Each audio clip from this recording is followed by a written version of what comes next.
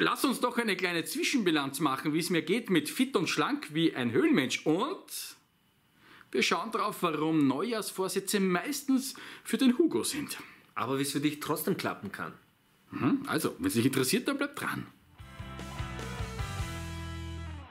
Hallo, willkommen, da ist der Reini Rossen vom Survival Show Problemskunst und wie du siehst, habe ich wieder den Ovi, hallo? den Obi dabei. Und ja, eine kurze Zwischenbilanz. Also, es geht mir sehr, sehr, sehr, sehr gut mit dem Programm. Es ist alles im Laufen und danke auch für die vielen netten Kommentare. Auch die bösen Kommentare ist auch immer wieder ganz nett. Und auch die netten Zuschriften und E-Mails und äh, die Tipps und, ähm, und, und auch die, die, die Hinweise, mich ärztlich äh, begleiten zu lassen. Und deswegen, ich finde das voll super und habe auch an alles gedacht und es geht mir wirklich top. Ich habe es nicht übertrieben. Es ist alles im Laufen und ich hoffe, man sieht auch schon das eine oder andere. Also, meine Zwischenbilanz ist auf jeden Fall positiv. Aber in dem Video soll es auch um was anderes gehen, denn man nimmt sich, auch ich ja, immer wieder mal so zu Neujahr vor, ich werde mir abnehmen, ich werde mehr Sport machen, ich werde meine Mama öfter besuchen oder ich werde netter zu, zu irgendjemandem, zu meinen Arbeitskollegen sein, was auch immer. Also Neujahrsvorsätze. Und äh, ich habe es nie geschafft, ja. ich habe es nie geschafft. Und der Obi und ich haben äh, drüber diskutiert jetzt gerade, ja, reden wir mal ganz einfach drüber, warum Neujahrsvorsätze nicht so gut funktionieren. Ja, es ist oft so, dass viele Leute sich ähm, kein richtiges Ziel setzen, sondern dass der Neujahrsvorsatz einfach nur ein Wunsch ist. Ja, ein Wunsch nach Veränderung und dieser Wunsch ist eher unverbindlich. Und wenn der Wunsch unverbindlich ist, heißt das, dass es auch nicht so schlimm ist, wenn man es nicht durchzieht. Wenn man, ich sag mal, scheitert oder so. Es ist auch oft so, dass viele Leute sich denken, von Jahr zu Jahr, ich versuche jetzt wieder abzunehmen. Ja? Und sie haben, dann, sie haben dann mehr oder weniger eher ein, eigentlich ein, nur einen Versuch. Und beim Versuch kann man ja scheitern und das, ja, das können sie dann als Ausrede hernehmen. So, das heißt, ich, ich nehme mir fürs nächste Jahr vor, dass ich ganz einfach abnehmen will. Ja? Das ist einmal einfach ein abstraktes Ding, das ich abnehmen will. Und es fehlt dann vielleicht auch der Handlungsplan dazu. Kann das sein? Auf jeden Fall, ja, Okay. sicher. Also äh, ich hatte auch den Wunsch, ich muss das ehrlich sagen, Obi, ich hatte auch den Wunsch zu sagen, ich will wieder fitter werden und ich will mein Gewicht reduzieren. Genau, Das war ein Wunsch. du hast eine klare Entscheidung getroffen. Ja? Ich meine, du hast eine Verpflichtung, äh, bist eingegangen, du hast eine Entscheidung getroffen, hier vor der Kamera, das haben jetzt schon 10.000 Leute gesehen, das ist schon ein Riesenunterschied. Und wenn du dich entscheidest, das ist halt wirklich der große Unterschied zu einem Wunsch, weil dann kannst du dann einfach nicht mehr so zurückziehen. Du kannst dann nicht mehr sagen, okay, nein, ich mache es vielleicht doch nicht mehr. Ja? Bei einem Wunsch ist das anders. Was gibt es noch für einen Grund? Was gibt's noch für einen Grund? Zweitens, es ist oft so, dass viele Leute mehr oder weniger einen Neujahrsvorsatz deshalb hernehmen, damit sie sein, ihr Gewissen beruhigen. Ja? Zum Beispiel, ich habe das oft gesehen im Fitnessstudio als Fitnesstrainer, sie trainieren den ganzen Dezember nicht mehr so regelmäßig, sie essen dann sehr viel über die Feiertage, weil sie ja sowieso vorhaben abzunehmen, weil sie ab 1.1. dann Vollgas geben im Training. Aber oft ist es dann anders. Oft ist es dann so, dass dann ähm, nach dem ersten Widerstand, nach zwei Wochen vielleicht, dass sie sehen, sie haben nicht mehr so viel Zeit, dann vielleicht doch dann einfach aufgeben. Vor allem aber auch, in die fünf Tage zwischen die Feiertage kannst du so viel zunehmen, wenn du wirklich viel isst. Ja? Und dann merkst du, dass es in zwei Wochen nicht mehr so leicht geht, dass du diese fünf Kilo wieder abnimmst. Naja, und dann gibt man oft auf. Okay, äh, das heißt, irgendwie verstehe ich das auch so, also ich kann mir jetzt fünf Knödel reinknallen, einfach so, und noch eine große Tafel Schokolade, weil nächstes Jahr nehme ich es sowieso ab, ist das so?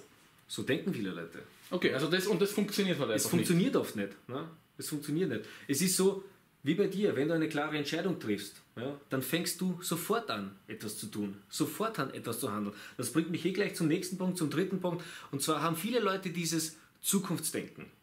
Nächste Woche fange ich mit dem Training an. Nächstes Jahr fange ich an abzunehmen, Neujahrsvorsatz.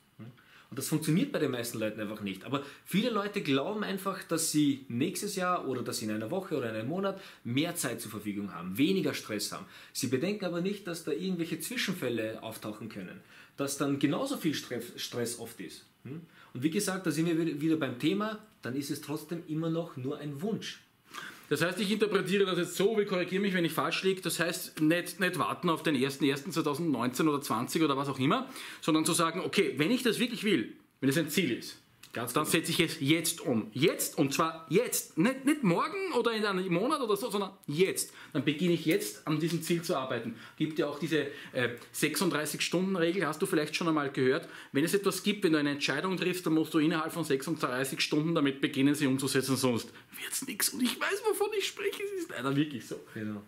Aber dabei ist es egal, ob du jetzt äh, für 10 Minuten was machst oder für 20 Minuten oder ob du jetzt nur sagst, okay, heute esse ich nicht so viel oder heute lasse ich die Schokolade weg. Wichtig ist, dass du sofort ins Handeln kommst, dass du jetzt gleich was tust. Ob du dann erst nächstes Jahr anfängst, dich im Fitnessstudio anzumelden oder was anderes tun, ist was anderes. Aber fang jetzt dann etwas zu tun. Beweise dir selbst, dass du eine Entscheidung getroffen hast. Das ist voll super. Oh, das taugt mir wirklich irrsinnig. Und auch nämlich etwas, mit was du gleich anfangen kannst, ist auch eine Zwischenbilanz von mir.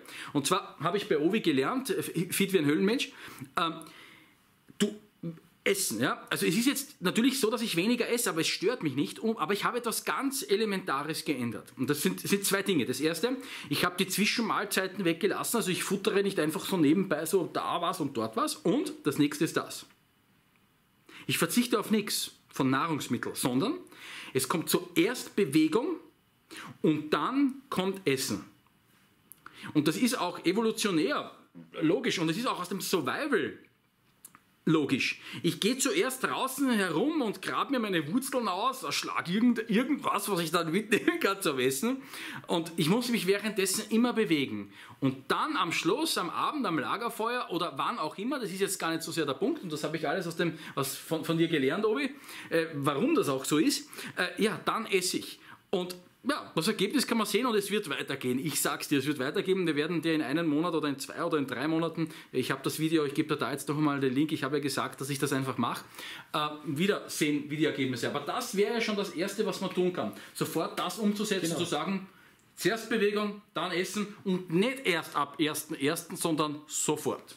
Kann man das so sagen? Ganz genau. Auf jeden Fall. Ja. Wäre super. Leicht zum Umsetzen, bevor du jetzt wenn du jetzt einkaufen gehst oder so, dann, ja, dann fährst du halt nicht mehr mit dem Auto, geh die 10, 20 Minuten zu Fuß, äh, hol deine Einkaufstaschen, geh nach Hause wieder, du bewegst dich ja wieder ein bisschen was. Und auch das ist ein kleiner Anfang. Ja? Und du musst ja mit der Zeit, dann, du, du, du kannst ja nicht mit dem Kopf durch die Wand. Also viele Leute versuchen, da sind wir bei Anfängerfehler, ja, oft in Kombination mit Neujahrsvorsätzen, dass viele Leute am Anfang versuchen, da irgendwie alles auszureißen, dass sie sechsmal in der Woche trainieren, dass sie komplette strikte Diäten einhalten, aber so funktioniert das oft nicht. Du musst klein anfangen. Du musst sofort anfangen, aber du darfst klein anfangen. Und das ist super. Das ist ein, wirklich ein super, super, super Spruch. Also lange Rede, kurzer Sinn. Wenn du das nächste Mal zu McDonalds mampfen gehst, fast nicht mit dem Auto hin, sondern gehst dort zu Fuß hin und lässt dich dann nach dem Essen mit dem Taxi einbringen. Super. Oh, aber eine Sache noch. Mhm. Du hast auch gesagt, du hast da hinten reingeredet vorher. Man kann das Ganze ja umgehen. Waren das schon alle Tipps oder hast du da noch etwas? Uh, nein, da gibt es natürlich noch viel mehr. Ähm, ich habe vorher kurz gesagt, du brauchst ein Ziel und keinen Wunsch. Ja? Also du erkennst das daran, da du ja, also an dem, dass du sofort was tust. Also dass es dir auch wirklich wichtig ist. Mhm. Und beim Ziel ist es halt so, ganz einfach, wir haben das alle schon mal gehört. Es muss messbar sein, es muss zeitlich beschränkt sein. Also du nimm dir einfach vor, dass du in, sage ich mal, drei Monaten, sechs Monaten das und das erreichst. Zum Beispiel 10 Kilo abnimmst, 20 Kilo abnimmst. Nimm es dir ab, aber das ist noch, noch nicht genug. Du brauchst nämlich auch einen starken Grund, um abzunehmen oder um fit zu werden mhm. für dein Ziel. Du brauchst wirklich ein starkes Warum. Weil du musst dir vorstellen, jetzt bist du vielleicht motiviert. Ja, vielleicht hast du dieses Video gesehen und sagst, ja, ich bin super motiviert, ich fange jetzt an zum Trainieren. Aber das Ganze ist langfristig. Es werden Anfangsschwierigkeiten auftauchen, Hürden auftauchen.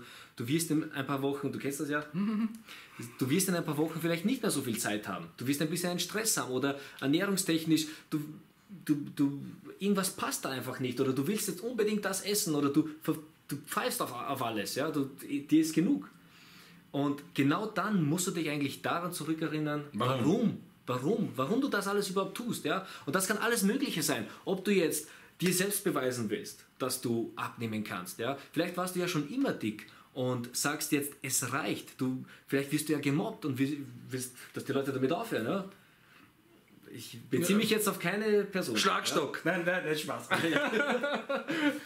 ja, oder ja, du, du, du willst deine Traumfrau finden, deinen Traummann. Hm? Und das ist dir wirklich wichtig. Also überleg dir wirklich, warum machst du das? Machst du das vielleicht nur, sage ich jetzt mal wieder, weil ja, weil du viel Knäung gegessen hast, genau, also ja. zu viel gegessen hast, ja? Oder gibt es wirklich einen Grund dahinter? Überleg dir das mal und dann überleg dir dein Ziel dazu. Und das finde ich super. Mein Grund ist nämlich, und ich habe es im letzten Video schon gesagt, ich will es nicht mehr. Aber nicht aus Optik, weil ich meine Traumfrau oder meinen Traummann finden will. oder weil ich gemobbt werde, was ich werde, ist mir wurscht, ja. Sondern es hat einen einfachen Grund für mich. Ich will das nicht mehr, weil ich sonst meine Arbeit, die ich über alles liebe, weil meine Arbeit ist ich, ja, ich, das, es ist nicht so, dass ich in der Früh aufstehe und sage, oh, das ist ja so schlimm, ich muss wieder, ich muss wieder Video machen, ja, da, für die alle da draußen, ich muss diese Produkte testen, das ist so fürchterlich, ja, sondern ich sage, yeah, ich kann aufstehen, wieder was tun, und damit ich das weitermachen kann, muss ich fit bleiben, muss äh, auf Draht bleiben, und ich habe einfach über die Zeit gemerkt, dass wenn ich einfach nur reinstopfe in mich, das einfach nicht gut ist, und das ist mein Grund, das ist mein Drive, und immer wenn ich Schwierigkeiten habe, und diese Schwierigkeiten sind natürlich da, dann habe ich daran gedacht, ich mache das, damit ich das, was ich wirklich will, weitermachen kann. Und das war, ist eine starke Motivation für mich. Gibt es sonst noch einen Tipp? Irgendwas, was du noch sagen willst? Genau, einen Tipp noch, äh, ganz, ganz wichtig. Ähm, wir machen das so, wie du das gemacht hast. Du hast, du hast dich ja verpflichtet im letzten Video. Du hast ja vor der Kamera vor 10.000 Leuten gesagt, du machst das jetzt. So deppert muss da mal sein, aber bitte, ja, bitte. Und das ist der beste Beweis für eine klare Entscheidung. Und das kannst du jetzt zu Hause auch machen. Ja? Und zwar, du kannst jetzt einfach in den Kommentaren reinschreiben, ich verpflichte mich bis zu diesem Zeitpunkt so und so viel abzunehmen oder fitter zu werden oder überleg dir ein Ziel, du musst jetzt nicht unbedingt ein Warum aufschreiben, ja, aber überleg dir ein Ziel, schreib dazu in den Kommentaren, du schreibst es vielleicht auch nochmal rein und schreib einfach dazu, ich verpflichte mich, das und das und das bis zu diesem Zeitpunkt zu erreichen. Ja? Und das ist schon der erste Schritt in die richtige Richtung. Da, damit hast du schon eine Entscheidung getroffen, dann machst du gleich was, du trainierst ein bisschen was, gehst zu Fuß zum Supermarkt und im Jänner kannst du dann weitersehen. Also, Uwe, danke.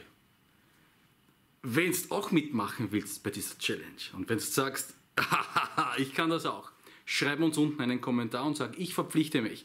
Auch ich will, ja, X, ich will 10 Liegestütze machen können, ich will den Berg rauflaufen, ich will 10 Kilo abnehmen. Ich und ich will und ich verpflichte mich. Ich tue es, ich werde es umsetzen, ich mache es und überleg dir ein ganz klares Warum warum du das willst. Das wäre cool. Schreib uns unten einen Kommentar dazu.